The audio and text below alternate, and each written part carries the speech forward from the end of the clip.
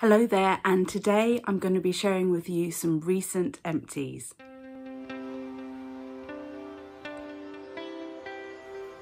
Welcome to Self Care Karen.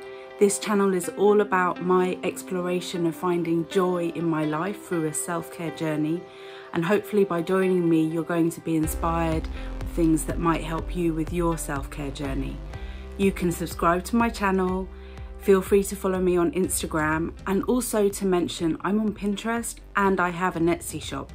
In my Etsy shop, I sell curated skincare suggestions. So depending on what your skincare concern is and what you want to do with your skincare um, regime at the moment, you can purchase one of my um, curated skincare suggestions and I will um, suggest products for you.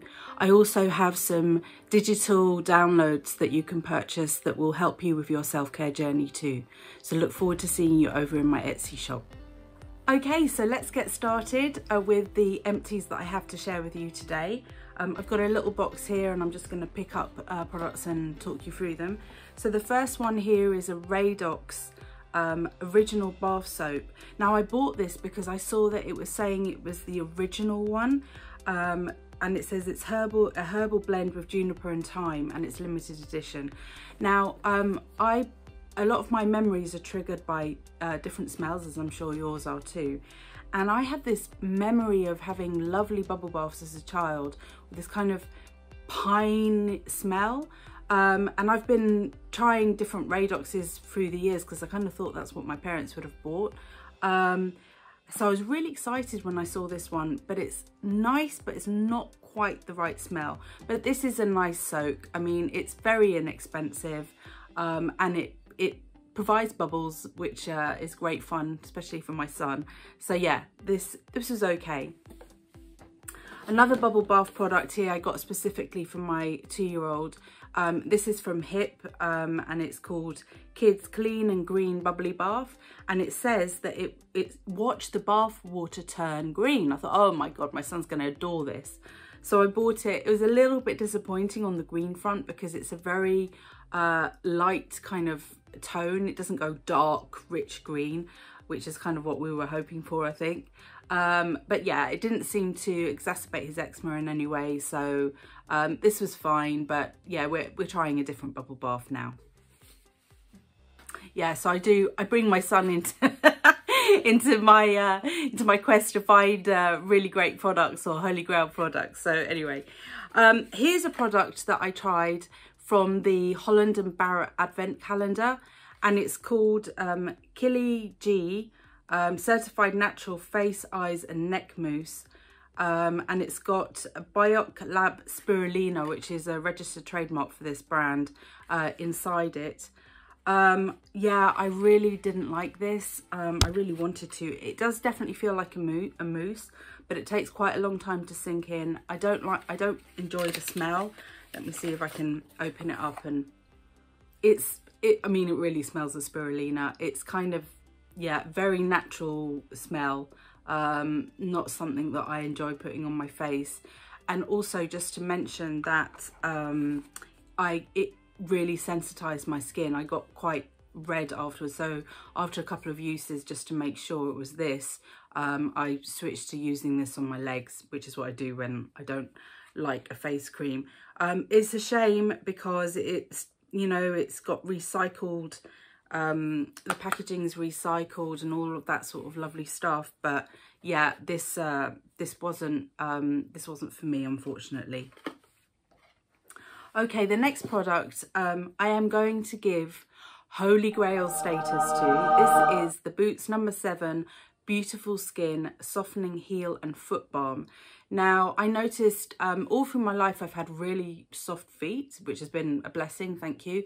Um, but I noticed that after I had my son, um, my the skin on my feet has really, really dried up and I get really hard skin on my feet and yeah it looks awful in the summer when I'm wearing sandals and what have you so last um, summer I kind of went on a journey of how to improve my um, the appearance of my of my feet and I used a series of products and this was one of the ones that I started with.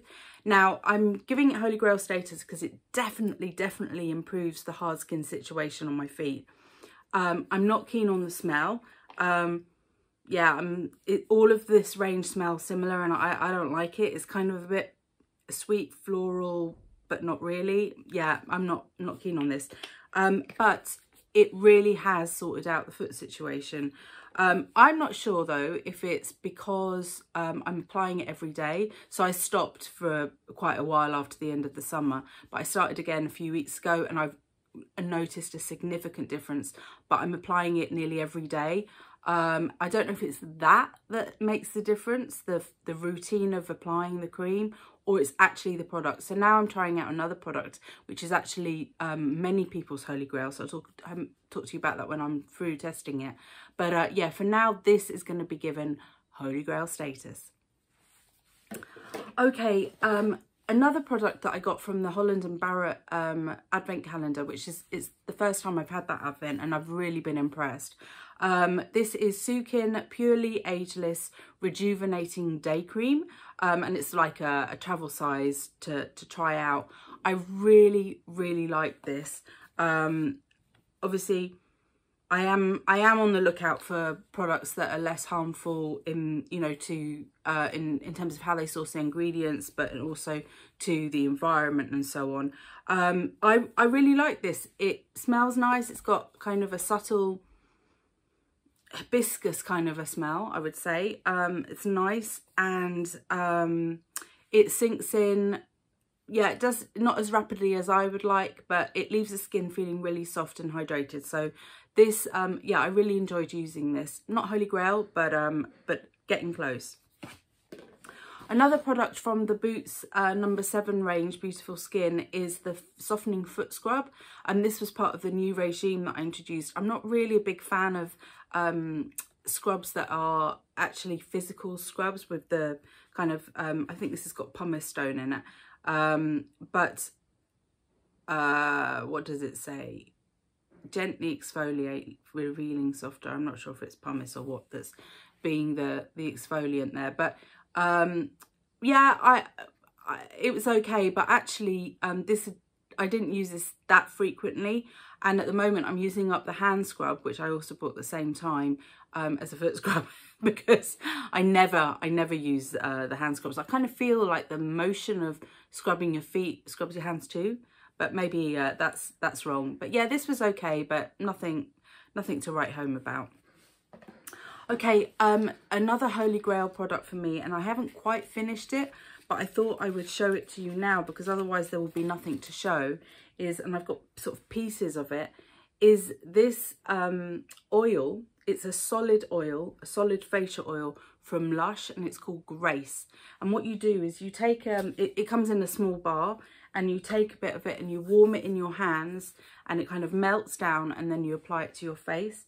And um, I first started using this after I'd had, or during the end of my pregnancy and, and when my son was a, a little bubba. And the smell is very evocative to me, but this, I love this because it really, really feels like it's hydrating. I also like the fact that there's no packaging except for the paper that it's wrapped in. Um, so I keep it in a tin. I'll show you the tin that I I keep it in a minion tin, which I got in a raffle sale. Love it. Love, love the minions. Um, but yeah, this is um, this uh, oil from Lush Holy Grail, definitely. Okay, and then finally, an absolute epic fail. Um, and I've spoken about this in a couple of other videos because um, I've used it in the Get Ready With Me. It's called Wonderlift 60 Second Wrinkle Reducer. So this um, says that it reduces the appearance of fine lines, dark circles and under eye puffiness.